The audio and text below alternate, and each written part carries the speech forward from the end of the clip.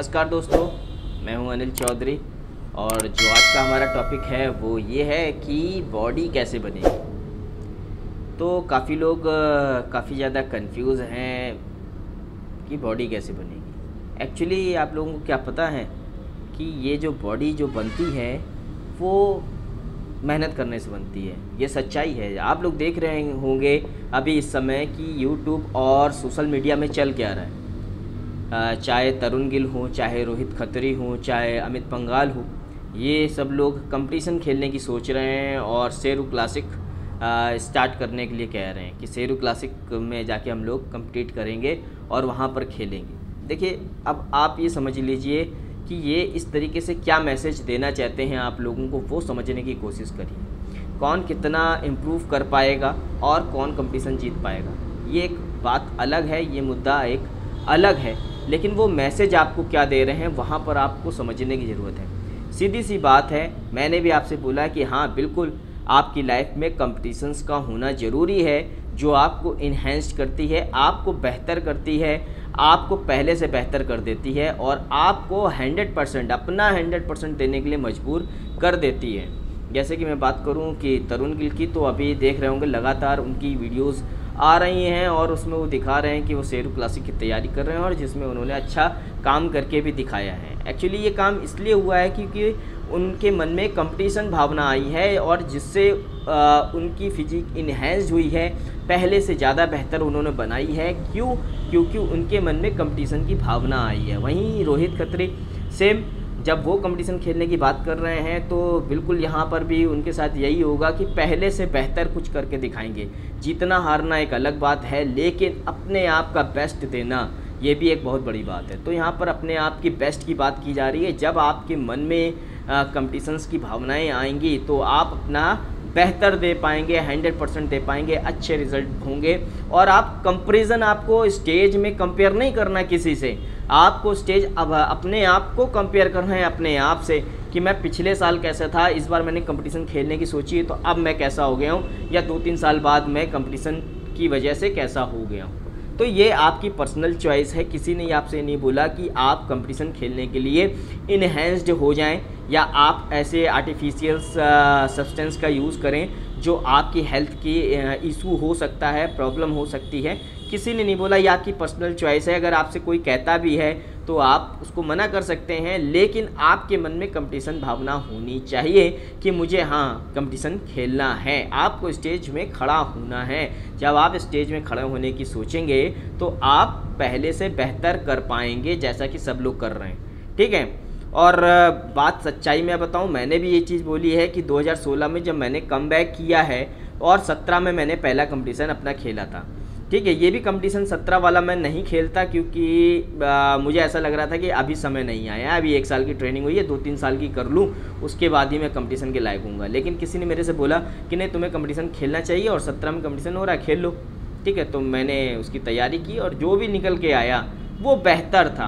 पहले से बेहतर निकल के आया। ठीक है लेकिन उसके बाद जैसे जैसे प्रिपरेशन अपनी होती गई और तैयारी होती गई और मन में कंपटीशन की भावनाएँ आने लगी, वैसे वैसे फिजिक जो थी इम्प्रूव करने लगी और कंपटीशन भी जितने चालू कर दिए।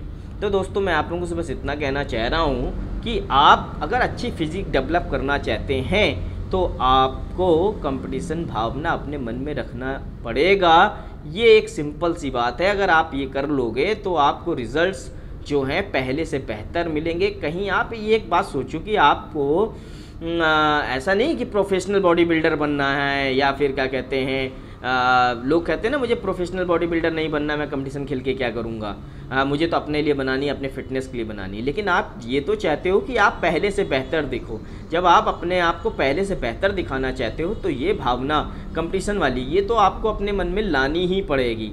ठीक है, अगर आप इस चीज़ को लेके नहीं आते हो और ऐसे ही कर रहे हो ट्रेनिंग ऐसे ही कर रहे हो, यानी आप एक तरीके से वही बात हो गई कि आप पढ़ाई तो कर रहे हो, लेकिन उस पढ़ाई में ना आपका हफेयरली हो रहा है, ना फाइनल हो रहा है कोई फाइनल टेस्ट नहीं हो रहा, कोई हफेयरली नहीं हो रहा है, ठीक है? और आप ऐसे बस पास हो जा रहे हो तो उसमें आपके नंबर भी उसी हिसाब से आने हैं। लेकिन अगर आप वही चीज़ एग्ज़ाम्स हो रहे हैं और दस लड़के, बीस लड़के उसको दे रहे हैं या सभी क्लास के लड़के उसको टेस्ट को दे रहे हैं तो उसमें आप बेहतर करने की कोशिश करोगे और ज़्यादा से ज़्यादा बेहतर कर पाओगे।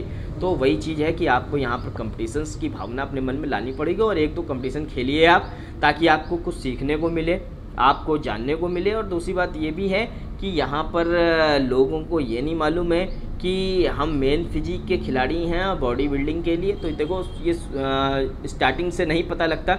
जब आप दो तीन चार साल की ट्रेनिंग कर लेते हो आ, अपने दोनों पार्ट्स को ट्रेंड करते हो ऊपर वाले और नीचे वाले को तो उसके बाद ही हमें पता लग पाता है कि आप मेन फिजिक के खिलाड़ी हो या आप बॉडी बिल्डिंग के लायक हो। ठीक है? बहुत सारे लोगों की लेग इतनी सारी करने के बाद भी लेग जो है इतनी ज़्यादा ग्रो नहीं करती है तो वो मेन फिजिक पे चले जाते हैं और जिनकी ग्रो होती हैं अच्छी लेग्स वो वो अपने बॉडी बिल्डिंग में चले जाते हैं। सिंपल सी बात है। ठीक है? तो बस कुल मिला के मैं आप लोगों से ये कहना चाहता हूँ कि जैसे बाकी यूट्यूबर्स कर रहे हैं आप उनको फॉलो करिए उनको देखिए उनको समझिए कि वो आ, इन सारी चीज़ों से कोई ऐसा नहीं है कि उनके पास गोल्ड मेडल आने वाला है या वो जीत जाएँगे। नहीं क्योंकि एथलीट बहुत बैठा हुआ है और प्रोफेशनल एथलीट बैठा हुआ है, बहुत समय से खेल रहा है। वो किसी भी कीमत पे आपको जीतने नहीं देंगे। मेहनती हैं, कर रहे हैं, काफ़ी समय से मसल्स मेच्योरिटी बहुत अच्छी है। और इस तरीके से क्या कहते हैं, बस आप अपने आप में ये रखिए कि नहीं, मुझे अपने आप को बेहतर करना है पहले से। तो आपके मन में ये भावना रहेगी, मुझे अपने आप को बेहतर करना है पहले से तो आप अपने आप को बेहतर कर लेंगे। कंपटीशन में खेल खेल के, खेल खेल के, खेल खेल के। दो चार कंपटीशन खेलेंगे, आप अपनी फिजिक को पहले से बेहतर बना लेंगे। तो दोस्तों, मैं बस यही कहना चाहूँगा आप लोगों से कि आप लोग अपने मन में एक कंपटीशन भावना लेके आएँ और कंपटीशन ज़रूर खेलिए। कुछ ना कुछ सीखने को मिलेगा। इन्हेंस्ड होने की ज़रूरत नहीं है। आप लोगों को किसी भी तरीके से कुछ भी उल्टा सीधा लेने की ज़रूरत नहीं है। आप ऐसे ही खेलिए। पीक वीक फॉलो करिए। पीक वीक में किस तरीके से नमक पानी छोड़ा जाता है, कितना कम करना होता है कार्बोहाइड्रेट कैसे कट करने होते हैं, ये सब, इस बातों को आप समझिए, सीखिए।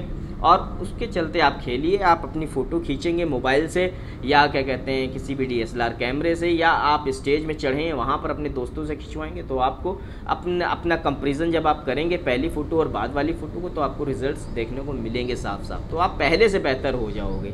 बस कहना मैं ये चाहता हूँ, इसीलिए इसका होना ज़रूरी है और आप सोचते हैं कि नहीं, मैं जिम में केवल कर करके कर करके अपने अपने लिए अच्छा बनाना चाहता हूँ। तो यार देखो भाई, नहीं हो पाएगा। ठीक है, ऐसा आप सोचते हो तो ऐसा नहीं हो पाएगा। तो होगा कैसे? आप जब कंपटीशन की भावना लेके आओगे, तभी संभव है, नहीं तो नहीं है। अगर आप ये कहते कि नहीं है तो बिना इंजेक्शन के यार, जीतने के लिए किसने बोला तुमसे? जीतना नहीं है ना।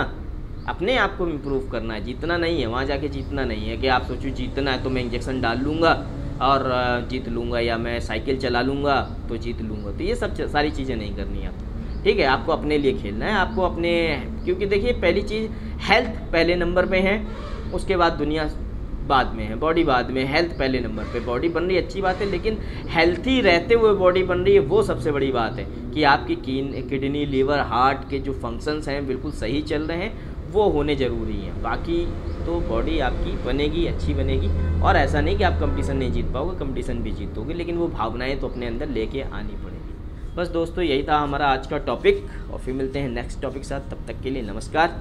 तो देखते रहिए लगातार मेरा YouTube channel Anil Chaudhary fitness फिर धन्यवाद।